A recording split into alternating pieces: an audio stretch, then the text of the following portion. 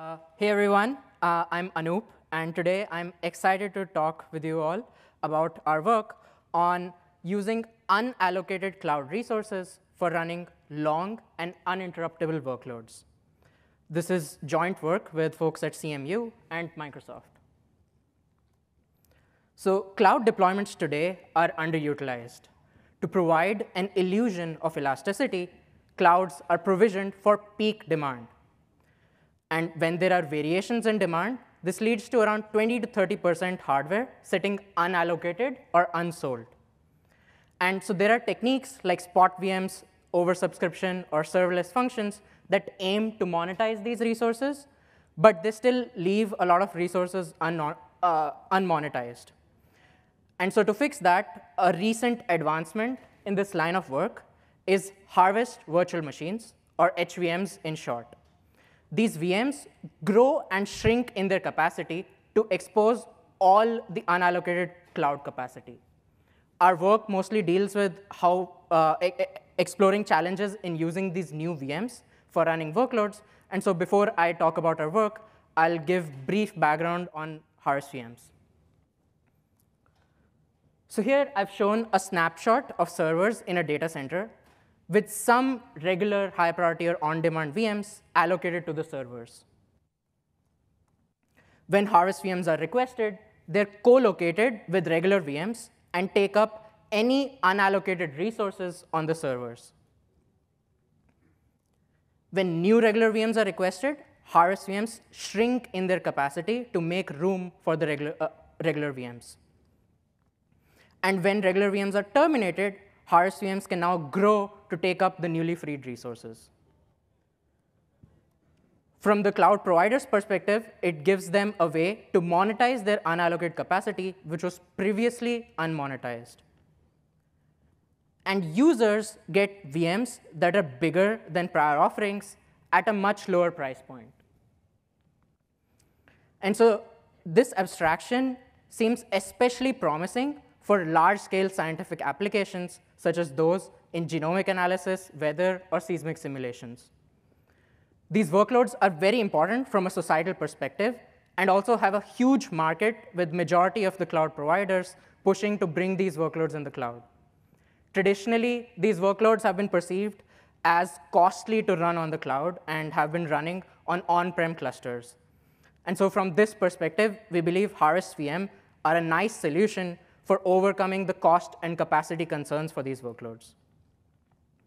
However, we went, when we went and ran these workloads on Harvest VMs, they did not quite run well out of the box.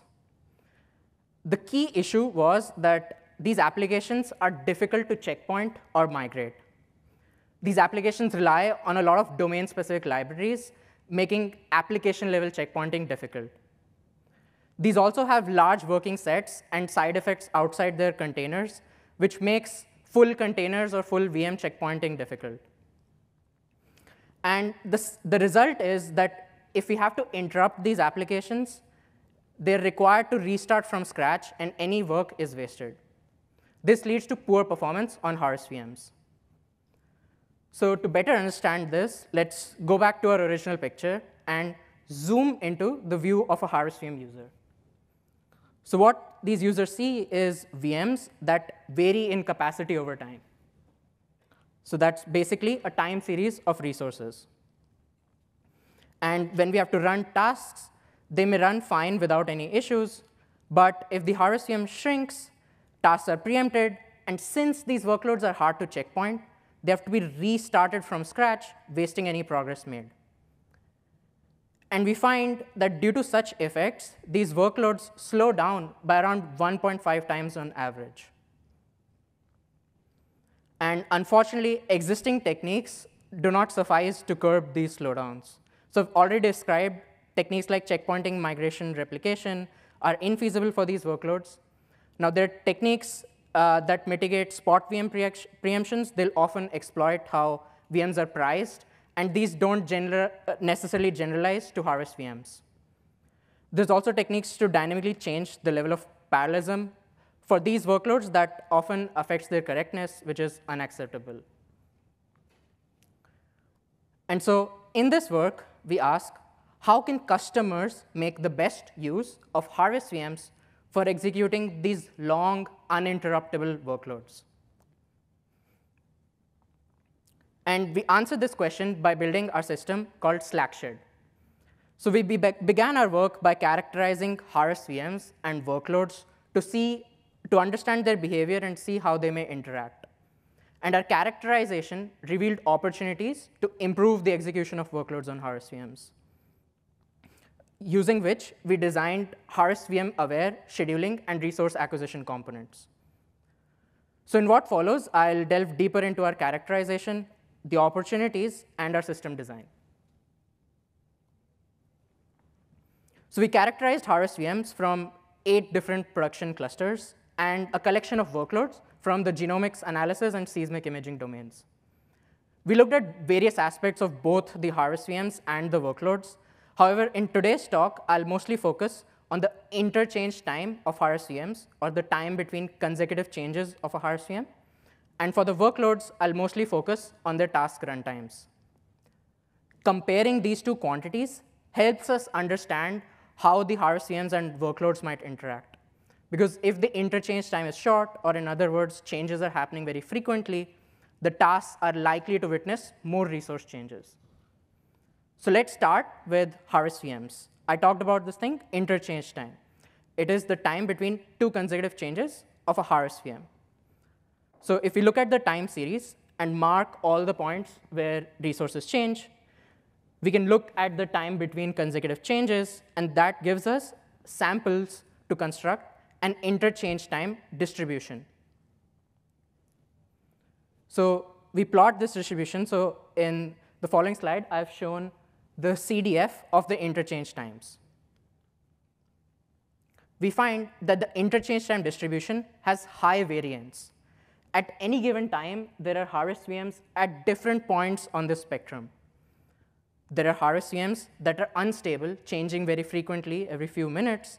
And there's also those that remain stable for hours or days. And this distribution emerges directly from the arrival, placement, and lifetimes of regular VMs running in the cloud. For instance, if regular VMs arrive and depart often, the interchange times will be short. So we do the same exercise for our workloads. So here I've shown the CDF of the task runtimes. We observe the task runtimes also have high variance. There are tasks that are short, run for a few minutes, and there are tasks which are long, can run up to an hour. So with these observations, if we go back to our roadmap, what we've seen so far is not all harvest VMs are the same. There's some harvest VMs which are stable, some are unstable, and we have a mix of these. Likewise, not all tasks are the same. There's a mix of short and long tasks. And we can use these observations to improve the execution of workloads. First, we can try to match longer tasks to more stable harvest VMs. Second, we can maintain a pool of more stable harvest VMs.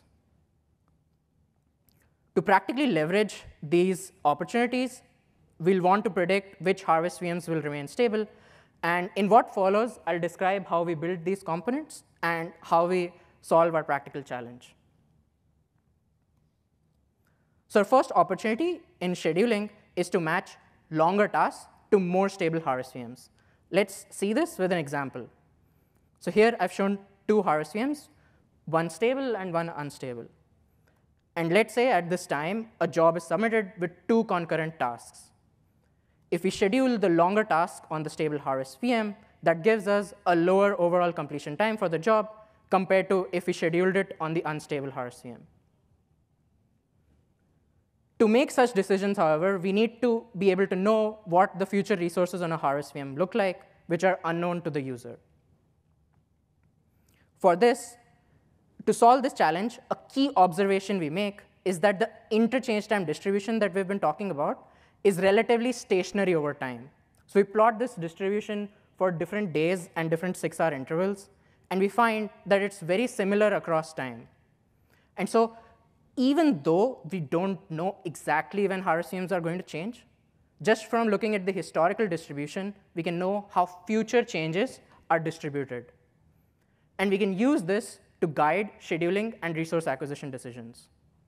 So let's see how we do that. So we look at this distribution and say we have a harvest VM which hasn't changed since t time. So t time has elapsed since the harvest VM has changed.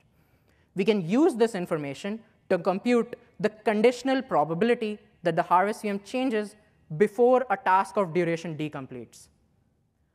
For instance, if the harvest VM hasn't changed in, let's say, 20 minutes, we can estimate what's the likelihood that it'll change in the next 10 minutes, 20 minutes, and so on.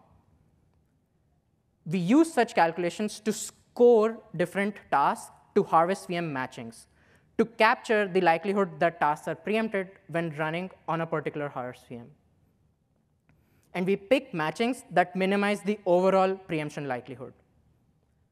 To compute this score, we also incorporate estimates of task runtimes and likelihood that a change will be a growth or a shrink event. Uh, I encourage you to read these details in our paper.